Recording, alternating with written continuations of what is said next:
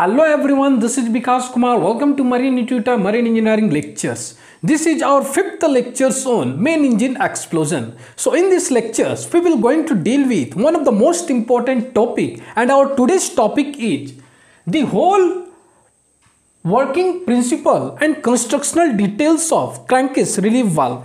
तो आज की इस लेक्चर में मैं बात करूंगा क्रैंकस रिलीफ वाल्व तो this is our fifth lectures so अगर आपने लास्ट फोर लेक्चर्स नहीं देखा है क्रैंकस एक्सप्लोजन की तो प्लीज़ आप डिस्क्रिप्शन बॉक्स में जाएँ वहाँ लिंक गिवन है आप लिंक क्लिक करें आप ईच एंड एवरी लेक्चर्स देख सकते हो सेपरेटली ओके सो इस लेक्चर्स में मैं बेसिकली बात करूँगा क्रैंकस रिलीफ वाल्व की constructional detailed and working principle and कुछ रिक्वायरमेंट्स पर बात करूँगा. ओके मिनिमम रिक्वायरमेंट्स पर बात करूँगा रिलीफ वाल्व की पोजिशनिंग पे बात करूँगा. ओके okay, तो सबसे पहले अगर मैं बात करूँ जब मैं सेकेंड ईयर में था जब मैं थर्ड ईयर में था तो मैं काफ़ी स्ट्रगल करता था। कुछ टेक्निकल लाइक like, समझ में नहीं आ पाती थी या लाइक like, क्लासेस में बैठे हो तो ज़रूरी नहीं क्लासेस में आपकी माइंड कंसंट्रेट एनी टाइम होती है।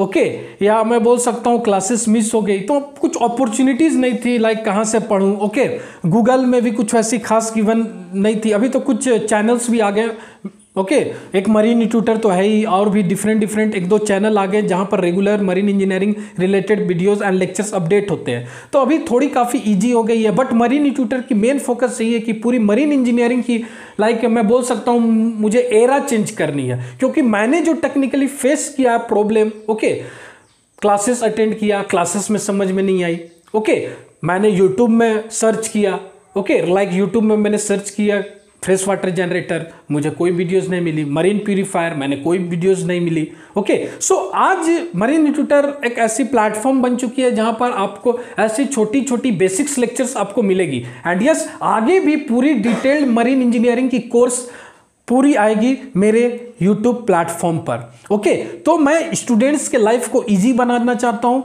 एक यही मरीन ट्यूटर की मेन एम है।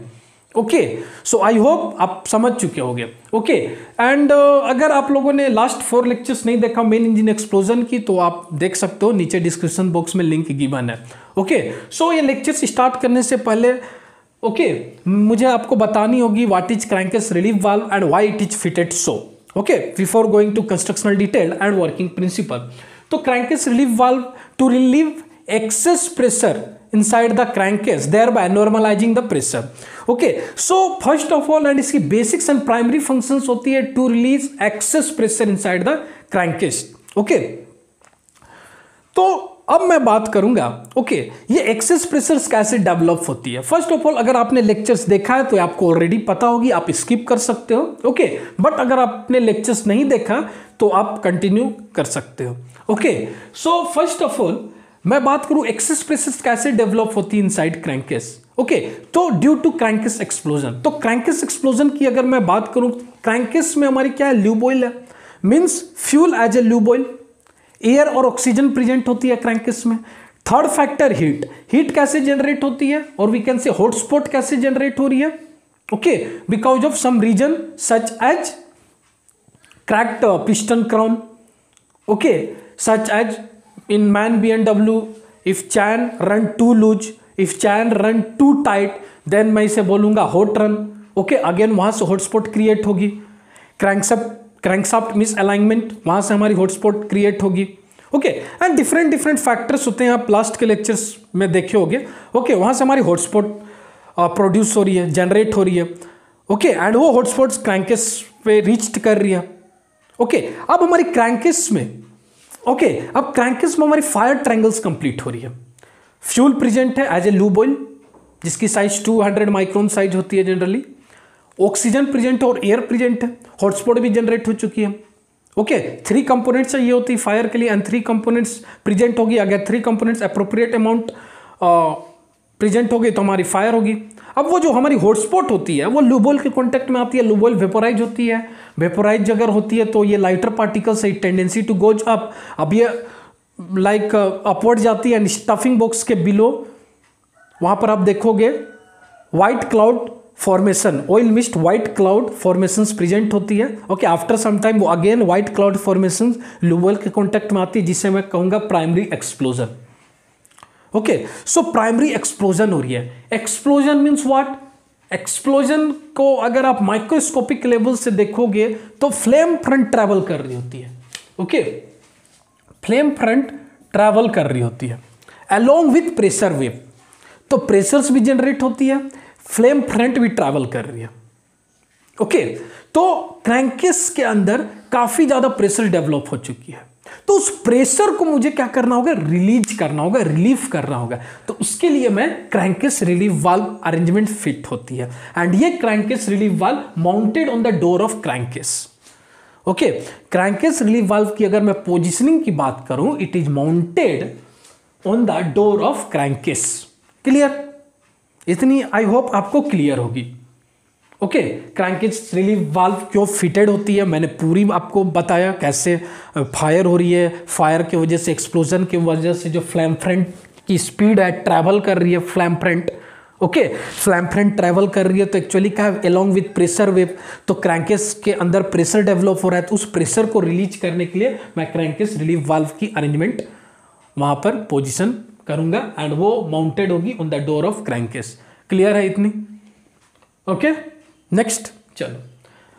नाउ अब मैं बात करूँगा इसकी पूरी constructional detailed and working principle पर। ओके okay, तो आप यहाँ पर देख सकते हो ये मेरी क्रैंकिस रिलीफ बल्ब मैंने ड्राइंग बनाई है। Okay now see first of all okay first of all ये जो मैं पार्ट बनाया हूँ ये पार्ट ओके okay, ये पार्टीशन है। Now this side this side मैं बोलूँगा इनसाइड एंड दिस साइड हमारी आउटसाइड क्लियर मीन्स अगर मैं बोलूँ वाल्व ओपन कैसे होगी? वाल्व की ओपनिंग अगर मैं बोलूँ तो वाल्व कुछ ऐसे ओपन होगी, ऐसे कंप्रेस्ड होगी स्प्रिंग को कंप्रेस्ड करेगी. क्लियर चलो क्लियर है इतनी? तो दिस साइड इनसाइड मैं बोलूँगा inside engine outside engine clear now see first component okay, and safety component, oil weighted gauge. What is oil weighted gauge? Act as a flame trap to prevent any flame leaving the crankcase. तो मैंने आपको starting में ही बताया बताया था fire triangle complete हुई fire triangle complete हुई मीन्स हॉटस्पॉट प्रेजेंट है क्रैंकेस में। अब वो हॉटस्पॉट ल्यूबॉयल के कांटेक्ट में आएगी, जिससे ल्यूबॉयल वेपोराइज होगी। अगर ल्यूबॉयल वेपोराइज होगी तो लाइटर पार्टिकल्स में उसे बोलूँगा and lighter particles having tendency to goes up and वो स्टफिंग बॉक्स के बिलो में white cloud formations oil mist create करेगी फॉर्म करेगी एंड आफ्टर सम टाइम वो वाइट क्लाउड फॉर्मेशन जो हुई है, अगर वो लूब ऑयल के कॉन्टैक्ट में आती है तो अगेन एक्सप्लोजन हो सकती है and that explosion is first stage of explosion which is called primary explosion तो प्राइमरी एक्सप्लोजन हुई एक्सप्लोजन मीन्स वाट अगर मैं उसको माइक्रोस्कोपिक लेवल से देखूँ तो फ्लेम फ्रंट की स्पीड होगी कुछ। एक्सप्लोजन सिंपली फ्लेम फ्रंट है, उसकी कुछ स्पीड है। Along with pressure wave means flame है। तो फ्लेम है मीन्स वाट मुझे एक सेफ्टी कंपोनेंट क्रैंकेस रिलीफ वाल में प्लेस्ड करनी होगी, ताकि वो फ्लेम जो हो क्रैंकेस से बाहर ना जाए। ओके वो फ्लेम जो हो, वो प्रिवेंट हो। ओके तो इसलिए ये act as a flame trap to prevent any flame leaving the crankcase okay ताकि वो क्रैंकेज से बाहर ना जाए। क्लियर तो उसके लिए मैं oil wetted gauze as a safety component fit होती है क्रैंकेज रिलीफ वाल्व पे। क्लियर इतनी आपको क्लियर होगी? चलो ना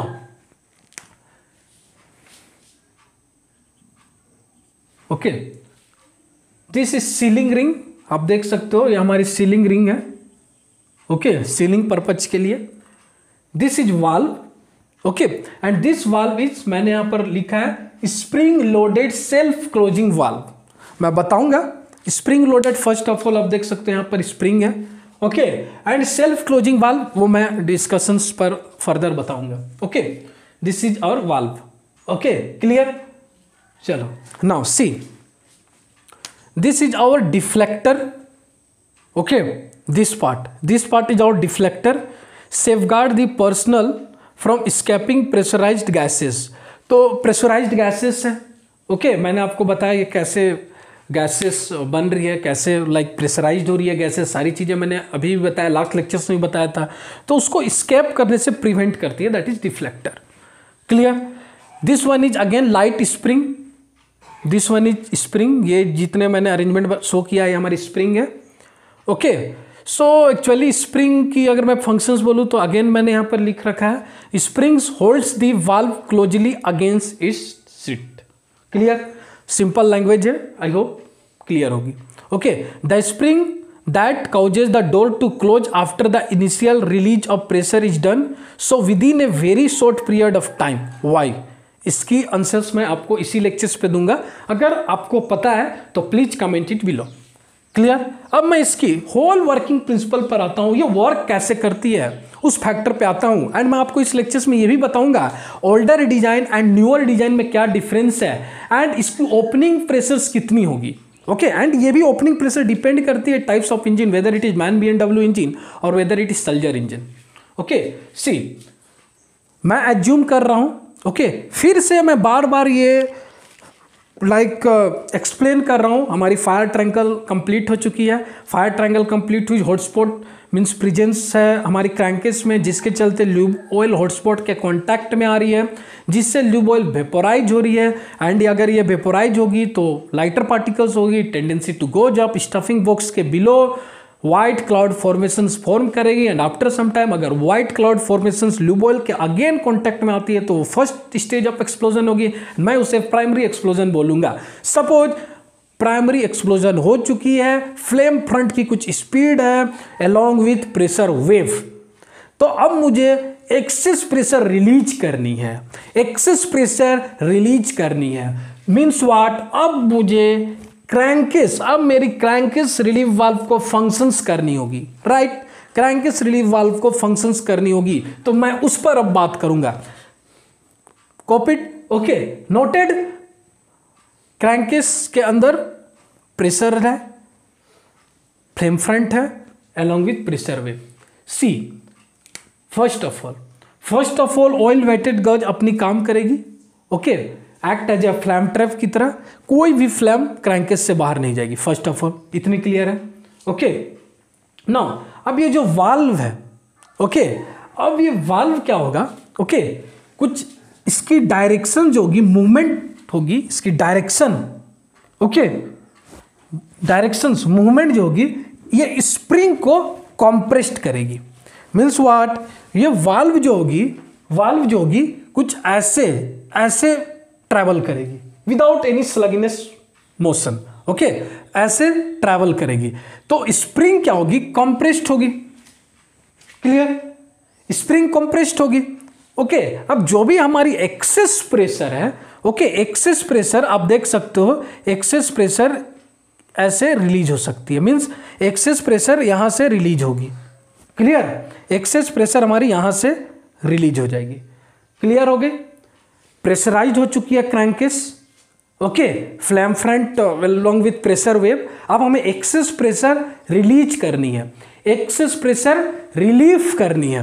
एक्सेस प्रेशर रिलीफ करनी है तो सबसे पहले वाल्व जो होगी ओके वाल्व की डायरेक्शन मूवमेंट ऐसे होगी, इस साइड होगी ओके वो वाल्व स्प्रिंग को कॉम्प्रेस्ड करेगी क्लियर अब स्प्रिंग को कॉम्प्रेस्ड करेगी तो स्प्रिंग जो होगी कॉम्प्रेस्ड होंगे. ओके एंड जो भी एक्सेस प्रेशर जो क्रैंकिस के अंदर है, वो रिलीज़ हो जाएँगे, वो रिलीफ हो जाएँगे। क्लियर इतनी आपको क्लियर है? ओके नाउ तो इसलिए इसे बोला गया स्प्रिंग लोडेड स्प्रिंग लोडेड वाल अब मैं आपको बताऊँगा why it is self closing valve okay so मैंने यहाँ पर एक अगेन सेंटेंस लिखा है the valve must be open smartly and close positively and rapidly why and same question यहाँ पर भी है। बट मैं दूसरे लैंग्वेज में लिखा हूँ। The spring that causes the door to close after the initial release of pressure is done so within a very short period of time why means what ये वाल्व की जो डायरेक्शन है okay okay? Valve की जो direction है okay okay? Opening जो हो रही है एंड स्प्रिंग को जो कंप्रेस कर रही है तो valve must be open smartly and close positively and rapidly means what suppose मैंने सेकेंड लेक्चर्स में आपको बताया था। सेकेंड लेक्चर्स में आपको बताया था प्राइमरी एक्सप्लोजन सेकेंडरी एक्सप्लोजन में कैसे बदलती है? How primary explosion leads to secondary explosion मैंने आपको सेकेंड लेक्चर में बताया था तो मैंने वहाँ पर क्या एक्सप्लेन किया था? सपोज़ वाल्व ओपन हो चुकी है। एंड अगर सपोज़ वाल्व ओपन हो चुकी है एंड वो रैपिडली क्लोज नहीं होती है। मैंने यहाँ पर लिखा है। And close positively and rapidly अगर वो रैपिड क्लोज नहीं होती है ओके okay, मीन्स वो लिफ्टिंग अप कंडीशंस पे है ओके okay, और बोल सकते हो पॉपअप कंडीशंस पे और ओपनिंग कंडीशंस पे उसकी होल ओपन है मीन्स वाट अगेन हमारी क्या हो सकती है? इससे क्या फैक्टर होगी? प्राइमरी एक्सप्लोजन मैंने आपको समझाया था। ये प्रेशर समझाया था ये वैक्यूम समझाया था। हमारी लाइक like, पूरी प्रोसेस फिर से आओ। है ना? फायर ट्रायंगल कंप्लीट हुई हॉटस्पॉट जनरेट हुई white cloud mist again white cloud mist lube oil के कॉन्टेक्ट में आएगी प्राइमरी एक्सप्लोजन होगी। प्राइमरी एक्सप्लोजन मीन्स हमारी फ्लेम फ्रंट ट्रैवल होगी flame front along with pressure भी मीन्स क्रैंकेस पे प्रेशर जनरेट हो रही है क्रिएट हो रही है। Okay large amount of pressure तो आप देख सकते हो प्रेशर ओके अब हमारी, मैंने वाल्व की मूवमेंट ऐसे हो रही है। स्प्रिंग कंप्रेस्ड हो रही है। अब हमारी कुछ एक्सेस प्रेशर रिलीज़ होगी। एक्सेस प्रेशर रिलीज़ हो रही है। एक्सेस प्रेशर रिलीज़ हो गई। नाउ अगर वाल्व की ओके वाल्व अगर the valve must be open smartly smartly open हो चुकी है and close positively and rapidly अगर ये रैपिड क्लोज नहीं होगी ओके okay, अगर ये रैपिडली रिसीट नहीं होगी अपनी पोजिशंस पे ओके okay, वो कैसे रिसीट हो रही है वो भी मैं बताऊँगा। ओपन तो स्मार्टली हो चुकी है। अगर वो रैपिडली अपनी पोजीशन पे शिफ्ट नहीं होगी तो इससे क्या प्रॉब्लम होगा? वो कंटिन्यूसली कंटिन्यूसली क्रैंकेस के प्रेशर्स को रिलीज़ करेगी रिलीज़ करेगी at one time at one time ये वैक्यूम अचीव करेगी क्रैंकेस पे। क्रैंकेस में हमारी वैक्यूम अचीव होगी। क्यों वैक्यूम अचीव हो चुकी है? बिकॉज़ क्यों वैक्यूम अचीव हो चुकी है? बिकॉज़ अभी भी हमारी वाल्व जो है ओके okay, अभी भी हमारी वाल्व जो है पॉपअप कंडीशंस पे है मैं बोल सकता हूँ लिफ्ट अप कंडीशंस पे है मैं बोल सकता हूँ वाल्व की ओपनिंग अभी भी मीन्स अमाउंट ऑफ़ ओपनिंग अभी भी मेंटेन्ड है। तो बिकॉज़ ऑफ़ ओपनिंग वो तो कंटिन्यूसली हमारी प्रेशर्स तो लाइक like, मैं बोलूँगा रिलीज़ होगी क्रैंकेस से। तो एट वन टाइम क्रैंकेस में हमारी वैक्यूम प्रेशर भी अचीव हो चुकी हो, हो जाएगी। तो जैसे ही वैक्यूम प्रेशर अचीव होगी क्रैंकिस के अंदर। अब हमारे इंजन रूम में एटमोस्फेरिक प्रेशर है। ओके एंड जो भी एयर और oxygen always flow from high pressure to low pressure air always flows from high pressure to low pressure अब हमारे इंजन रूम से अब हमारी इंजन रूम से ओके okay, अगेन हमारी प्रेशर जो होगी ओके अगेन फ्लो करेगी and which is rush to the crankcase अब अगेन अगेन अगर एयर रस करेगी क्रैंकेस में तो मैंने आपको डायल्यूशन विथ एयर कॉन्सेप्ट बताया था। ओके मीन्स वाट क्रैंकेस को मैं डायल्यूट कर रहा हूँ एयर के साथ। Okay and at one time okay उसकी कंसेंट्रेशन जो होगी क्रैंकेस के अंदर जो कंसेंट्रेशन है मिस्ट अभी भी प्रेजेंट है। ओके ल्यूबॉयल तो है ही। ओके okay, अब एयर भी अगर appropriate amount of appropriate amount of concentration में अगर एयर भी आएगी तो पूरी जो मिक्सचर्स होगी मे बी फ्लैमेबल मिक्सचर्स के अगर विद इन आएगी, मैंने आपको फ्लैमिलिटी कर फ़र्स्ट लेक्चर्स में लिया था प्लीज़ सारे लेक्चर्स देखो, तभी सभी चीज़ों को रिलेट कर पाओगे। अगर वह फ्लैमेबिलिटी रीजन्स में लाइक लाइक करेगी, उसकी फ्लैमेबल मिक्सचर्स तो अगेन फायर हो जाएगी। एंड ये फायर सेकेंडरी एक्सप्लोजन होगी, जो कि काफ़ी डेंजरस हो सकती है। Secondary explosion okay pressure wave होगी ओके सेकेंडरी एक्सप्लोजन हो सकती है। तो उसे प्रिवेंट करने के लिए मेरी वाल्व जो है क्लोज पॉजिटिवली एंड रैपिडली वो जैसे ही एक्सेस प्रेशर रिलीज़ हुई अपनी रिसिट पोजिशंस पे वो आ जाती है। ओके okay, अब यहाँ पर पढ़ो। The spring that causes the door to close after the initial release of pressure is done so within a very short period of time इसलिए बहुत ही शॉर्ट पीरियड ऑफ़ टाइम में वो प्रेशर रिलीज़ करती है। अगर टाइम ज़्यादा होगी अगर वो लिफ्ट ऑफ़ कंडीशंस पे ज़्यादा टाइम तक होगी तो सेकेंडरी एक्सप्लोजन हो सकती है। ना why it is self closing valve simple okay because of pressure wave open हो रही है। ओके okay, जैसे जैसे प्रेशर रिड्यूस होगी ओके okay, जैसे जैसे प्रेशर रिड्यूस होगी ओके okay, स्प्रिंग अपनी ओरिजिनल पोजिशंस पे आएगी। मीन्स वाट अब वो स्प्रिंग जो है रिसेट हो जाएगी अपनी पोजिशंस पे। Simple okay due to pressure wave के चलते ये क्या कर रही है? इसकी मूवमेंट हो रही है। जैसे प्रेशर डिक्रीज होगी प्रेशर नॉर्मलाइजिंग प्रेशर पे आएगी ऑटोमेटिकली स्प्रिंग अपने पोजिशन पे चली जाएगी। That's why it is called spring loaded self closing valve and इसलिए मैंने ये सेंटेंस लिखा है the valve must be open smartly smartly and close positively and rapidly due to this reason clear clear है? इतनी आपको क्लियर है? ना अब मैं आपको बताऊँगा, अब मैं आपको ये बताऊँगा, इसकी ओपनिंग प्रेशर्स कितनी है? ओके मीन्स वाल्व की ओपनिंग प्रेशर्स कितनी होनी चाहिए? Okay and older design and newer design में आपको डिफरेंस बताऊँगा। ये जो मैं आपको बताया हूँ, ये न्यूअर डिज़ाइन है new modern design okay but older design में हमारी क्या थी? एक बहुत ही बड़ी मेजर प्रॉब्लम थी। मेजर प्रॉब्लम क्या थी? ओल्डर डिज़ाइन में जो वाल्व की एरिया थी वो कम थी रेड्यूस थी। न्यूअर डिज़ाइन में वाल्व की एरिया इंक्रीज हुई। लिटिल बिट वाल्व की एरिया इंक्रीमेंट हुई। ओके लिटल विट वाल्व की एरिया में इंक्रीमेंट हुई। मींस एरिया हमारी न्यूअर डिज़ाइन में इंक्रीज हो चुकी है।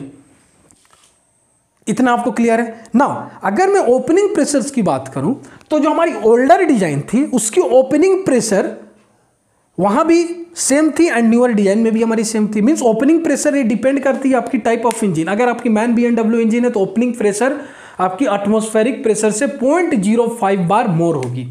Point zero five bar more होगी एटमोस्फेरिक प्रेशर से। अगर आपकी सल्जर इंजन है तो वाल्व की opening pressure more than point two bar से ज़्यादा होगी। एटमोस्फेरिक प्रेशर से more than point two bar ज़्यादा होगी। क्लियर इतनी आपको क्लियर है? ओके सो अब देखो, आप आप देखो। ओल्डर डिज़ाइन में ओल्डर डिज़ाइन में एरिया कम थी। वाल्व की एरिया की मैं बात करूँ, ये वाल्व की एरिया रिड्यूस थी, कम थी। न्यूअर डिज़ाइन में इस वाल्व की एरिया को हम लोगों ने इनहेंस किया। ओके एरिया इंक्रीज हो चुकी है। न्यूअर डिज़ाइन में वाल्व की एरिया इंक्रीज हो चुकी है।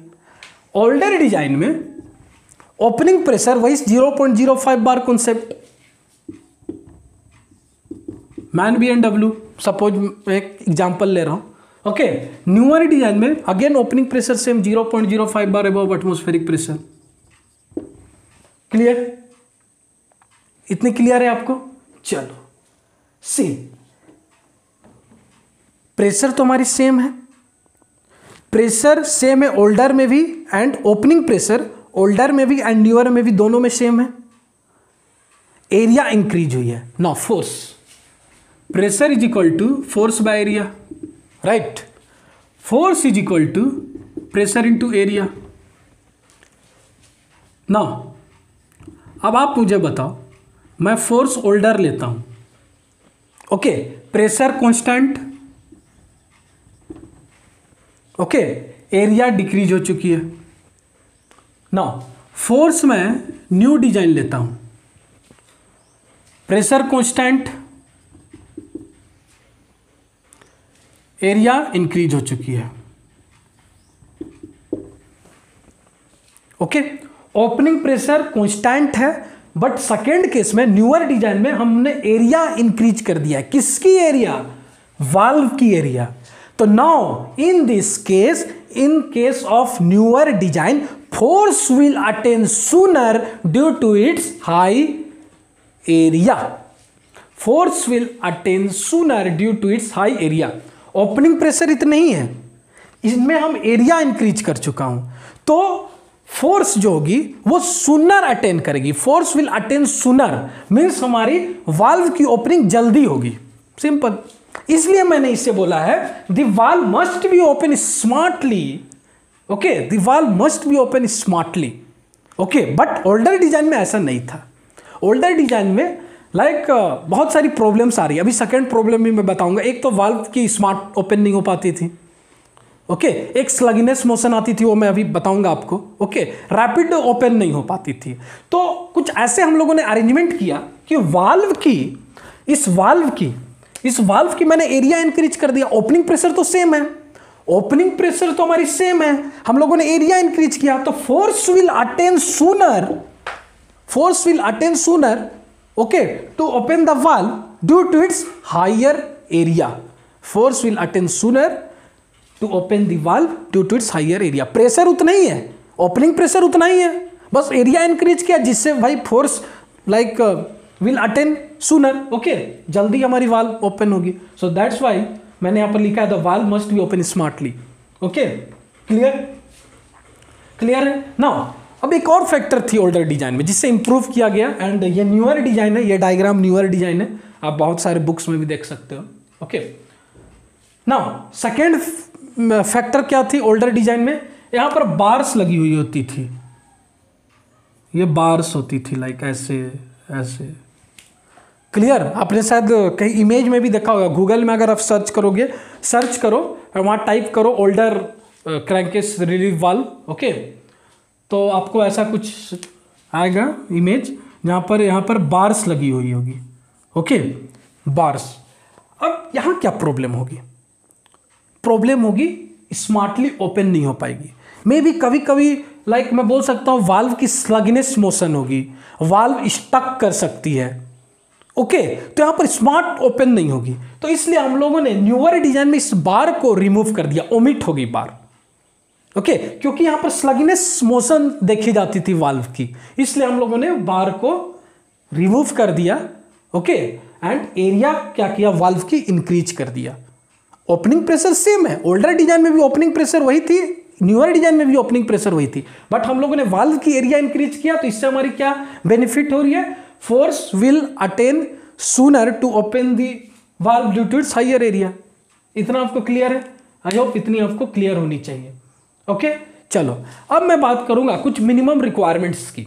Okay minimum requirements means what okay like आपकी नंबर ऑफ़ रिलीफ वाल्व कितनी प्रेजेंट होनी चाहिए वो डिपेंड करता है आपकी इंटरनल कंबसन इंजन के सिलेंडर डायमीटर पे। Okay gross volume of crankcase पे डिपेंड करता है। ओके okay, इन फैक्टर्स पर मैं बात करूँगा। और ये क्वेश्चंस भी काफ़ी एम क्लास फोर ओरल्स में भी पूछे जाते हैं। ट्रेनिंग मरीन इंजीनियरिंग की अगर आप इंटरव्यू दे रहे हो तो वहाँ भी पूछे जाते हैं। ओके okay, ऐसे ऐसे क्वेश्चन जीएमई इंटरव्यू में तो नहीं पूछे जाते क्योंकि आप लोगों ने अभी तक कोर्स तो किया नहीं है। आपकी ज़्यादातर क्वेश्चंस आपसे लाइक मैकेनिकल्स फैक्टर्स पे किया जाता है कंपोनेंट्स पे किया जाता है। ये पूरी मरीन की कंपोनेंट्स आ गई। Okay by the way working principle तो मैकेनिकल है बट आपकी मैकेनिकल इंजीनियरिंग में आप लोगों ने ये सारी चीज़ें नहीं पढ़ा था। ओके सो ये क्वेश्चंस जनरली ट्रीएमई से पूछे जाते हैं। MEO class four orals MEO class two orals okay तो मिनिमम रिक्वायरमेंट क्या है? तो फ़र्स्ट ऑफ़ ऑल अगर आपकी internal combustion engine cylinder diameter 200 hundred m m and above और we can say 0.6 metre cube volume crankcase volume अगर है okay okay, तो आपकी क्रैंकेस रिलीव वाल्व एक स्पेसिफिक एरिया रिलीव एरिया में ही क्रैंकेस रिलीव वाल्व प्रेजेंट हो सकती है। ऐसा नहीं है कि ईच क्रैंकेस डोर पे प्रेजेंट होगी। मैंने यहाँ पर लिखा है ना mounted on the door of crankcase but आपकी अगर internal combustion engine cylinder diameter 200 hundred mm और मैं बोल सकता हूँ 0.6 मीटर क्यूब वॉल्यूम और अबव है तो उस केस में ओके क्रैंकेस रिलीफ वाल्व जो होगी, एक स्पेसिफिक रिलीफ एरिया में ही सिचुएटेड होगी और वी कैन से माउंटेड होगी। क्लियर सेकेंड रूल अगर आपकी स्मॉल इंजन है स्मॉल इंटरनल कंबसन इंजन जिसकी diameter 300 hundred m m which diameter cylinder diameter cylinder diameter 300 hundred m m below है okay okay? 300 से कम है तो यस क्रैंकेस डोर तो काफ़ी स्ट्रांग होगी okay but but relief valve जो होगी माउंटेड जो होगी इंड पे माउंट होगी. और मैं बोल सकता हूँ like it is mounted on to the end of the door okay like four unit है, फाइव यूनिट है, सिक्स यूनिट है, फोर यूनिट है तो वन और फोर यूनिट पे माउंटेड होगी, ऐसा। लाइक like टू पे माउंट नहीं होगी थ्री पे नहीं होगी लाइक वन और फोर पे होगी लाइक दैट ओके नाउ अगर आपकी internal combustion engine cylinder diameter more than 300 hundred mm है तो इस इस केस में क्रैंकिस रिलीव वाल्व ओके ये लार्ज इंजन के कैटेगरी में आएगी। Crankcase relief valve each crankcase door पे प्रेजेंट होगी। मैंने लिखा है ना mounted on the door of crankcase तो ये मिनिमम रिक्वायरमेंट्स होती है आपको ये याद रहनी चाहिए। Okay so please comment it below okay आपको लेक्चर्स कैसे लगी? एंड यस yes, एक मिनिमम रिक्वायरमेंट्स में मैंने एक रिक्वायरमेंट एक रिक्वायरमेंट आपको नहीं बताया वो क्रॉस क्रैंकेस वॉल्यूम के ऊपर है। आप प्लीज़ नीचे कमेंट में कमेंट बॉक्स करो और उसको एक्सप्लेन करो वो कौन सी रिक्वायरमेंट है okay please comment it below okay so ये आज की हमारी लेक्चर्स थी। मैंने आपको समझाया वर्किंग डिटेल्स कंस्ट्रक्शनल प्रिंसिपल मैंने आपको ये भी इस लेक्चर्स में बता दिया कैसे प्रेशराइज हो रही है, कैसे प्रेशर इंक्रीज हो रही है क्रैंकेस रिलीफ वाल्व में ओके और मैं क्रैंकेस में कैसे क्रैंकेस रिलीफ वाल्व उसे नॉर्मलाइज कर रही है, सारी चीज़ें मैंने डिस्कस किया। नेक्स्ट लेक्चर्स में मैं नेक्स्ट टॉपिक्स पर मिलूँगा ओके सो प्लीज़ इस लेक्चर को ज़्यादा से ज़्यादा शेयर करें ओके ताकि हर मरीन इंजीनियरिंग एस्पायरेंट्स के पास ये लेक्चर्स रीच्ड हो okay and stay tune stay connected let's learn and grow together with marine tutor thank you